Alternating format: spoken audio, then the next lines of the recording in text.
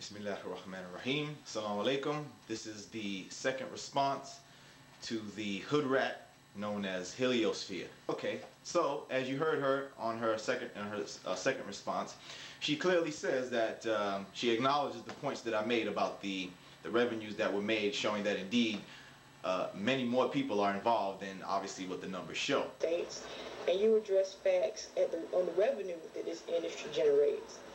And so we both have valid points here.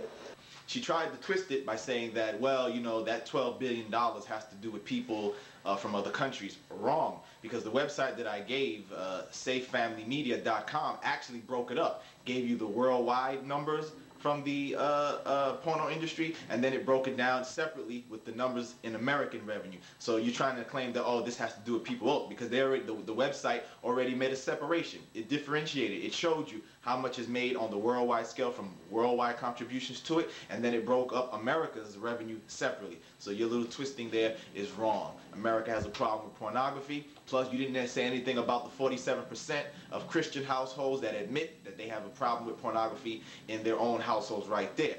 Okay, that is backwards, sitting in the in front of a freaking camera having sex like a damn animal. So it is a problem. You can uh, deny it all you want.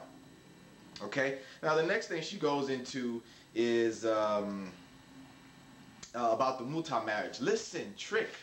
I already gave the information that clearly proves that it was forbidden. But check this out, everybody. Check what out. Check what I did. What I did was I went to her reference. She said in Sahih Muslim, Hadith number 3252, right? Guess what? Guess what? If you look at the Hadith before it, the same Hadith itself, and the hadith after it, all three of those hadith, 353 is 352 is the one she mentioned, right? But if you read 352, 350, uh, 3251 and 3253 and 3252 itself, you read the whole hadith. At the end, it says the prophet forbade muta marriage. What's wrong, Trick? You can't read? Huh? You don't know how to read, Trick, or what? You see, you know what she's doing, everybody? She's getting her information from a hate site. That's making her look like a jackass, you see? She thinks she knows what she's talking about, but in reality, they're only giving, that website only gives you part of the quote because they're being dishonest. They are dishonest little devils, little shayateen who are trying to promote some misinformation. If you read the hadiths in context, the full hadith, it clearly says that the prophet forbade it, even in the one she quoted. The hadith right before it and the hadith after it says that the prophet forbade it. So again, trick you're wrong. It is forbidden. So I don't know what the hell you're talking about. Okay? The next thing, she talks about uh, the jizya, about the dhimmitude. Wow, you read a verse that says you have to pay a tax.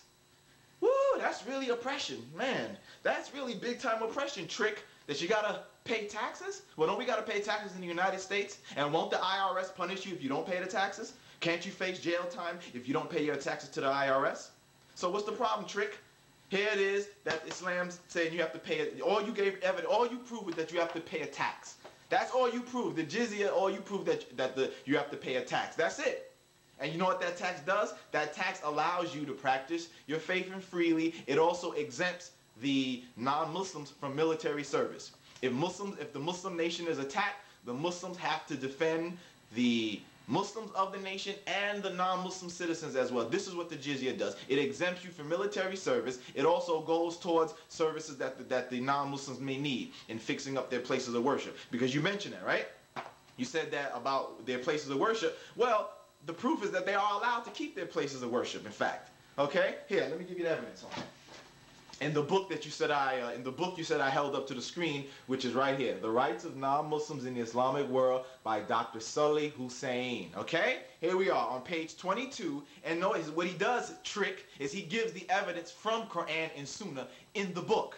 You see, so you're right. He's still quoting what Allah said and what the Sunnah says. Okay, so right here on page 24 he gives uh, a reference to when Umar had made the treaty with the Christians of Jerusalem. And here's what it says on page 24. It says, This is the security given by the servant of Allah, Umar, commander of the faithful, to the people of Ilya. This is the people of, in Jerusalem.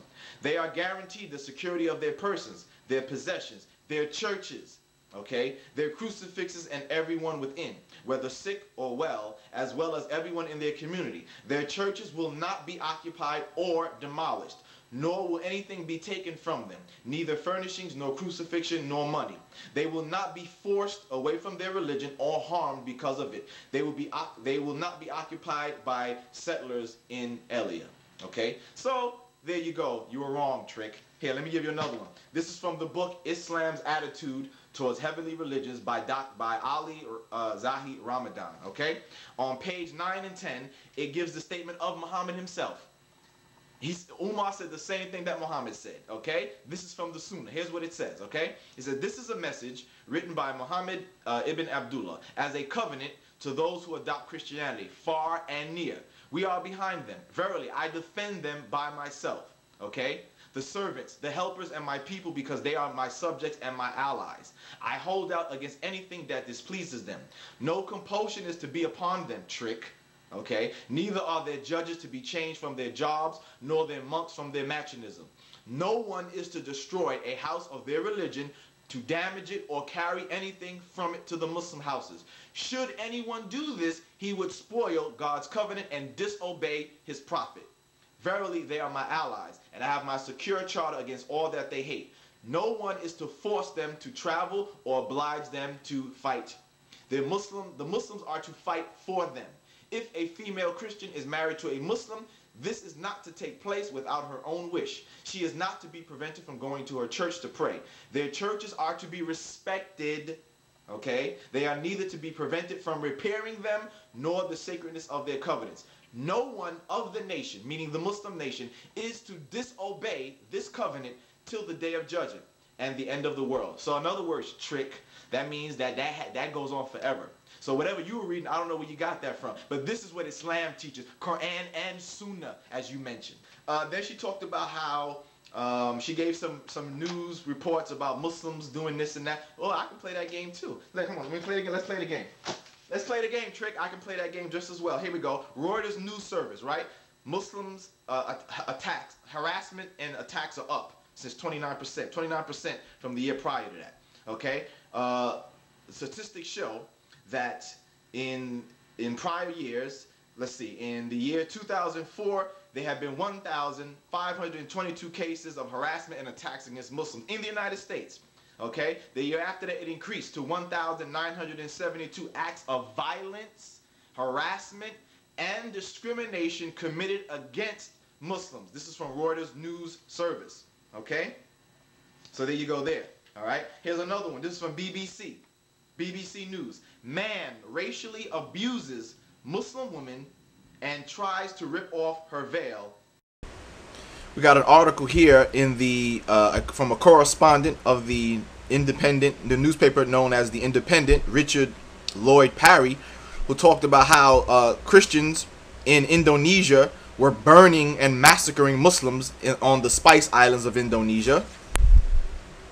Got another article here about how um, uh, so account the in Indonesian Council of Churches had written letters to other Christians in Indonesia to condemn the Christian Indonesians of the island of Mala, uh, of Maluku for slaughtering 3,000 Muslims. Okay, so the thing you were talking about about Muslims doing stuff in Indonesia, this had to do with these Indonesian Christians killing Muslims first. Okay, so so your point was gone all right, and lost. And then another one here, we also see uh, that it was reported that about 200 hospital staff and 700 patients and visitors were taken hostage in Thailand, you mentioned Thailand too, by Christian fundamentalist army called God's Army. Okay, so we can play this game too. I, I can name things that Christians have done and other people have done against Muslims just the same. All right? More bigotry advances right here. This is an article by Umbreen Abdullah, Fremont, California. Okay, resident hijab-clad Aliyah Ansari, a 37-year-old Afghan-American woman of six children, lived just blocks away from where she was shot to death in the presence of her three-year-old daughter on October 19th. I got so many articles I can read of Muslims being attacked. They'll say New York, Shahid Amber, 24, was assaulted by a group of Orthodox Jewish teens on October 29th in Brooklyn, New York. All right? Let's go on. Let's go on. You want to play the game? We can play the game too. Here we go. The day after Mr. Straw made his remarks in England, a gray haired white man shouting racist abuse tore off a Muslim woman's veil. Liverpool police said the attack was a hate crime. On October 13th, another gray-haired white man entered the doubt, and this is what the article's saying. They're saying white man, okay? The article itself is letting you know that it's a bunch of white bigots attacking Muslims, okay?